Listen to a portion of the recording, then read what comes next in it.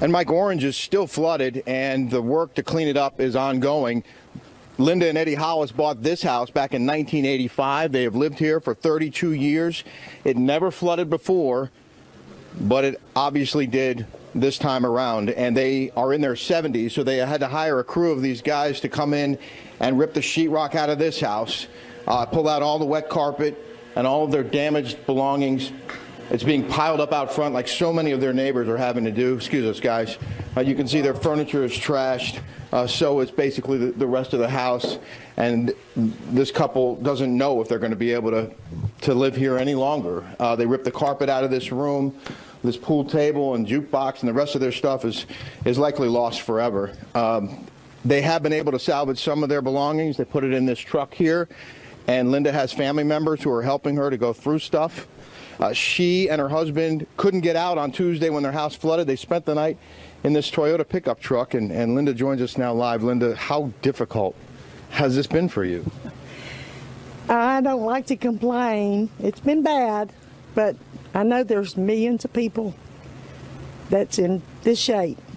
So you got to do what you got to do. And you told me you like to collect things, you like to save stuff, and, and so much of it was ruined by this yes, storm. sir, everything. My grandkids' clothes that they wore home from the hospital, and my kids' toys from when they were babies, and that everybody's played with. There's just so many things, and they're just they kind of get mad at me for trying to keep it.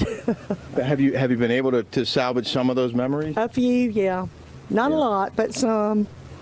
And, and you told me that, that the greatest uh, thing that, that came out of this, I mean, you, you have your life, you have your husband. I have husband. my life, I do, and I'm I'm I'm very appreciative, you know, and I'm appreciative for everything everybody's done for us. The shelter was wonderful. Alexandria, I don't know what was it, the Mega Center. The people there were wonderful. They helped you do anything. They had doctors there that were helping me. Yeah. Well, Linda, listen, we, we appreciate your hospitality and we wish you all the best. And and, and, and I know you have you're getting a lot of help, and we hope you We continue are, to get and I the. appreciate y'all. Thank you very much. Um, Linda's going to spend the night, uh, um, who knows how many nights, uh, with her family.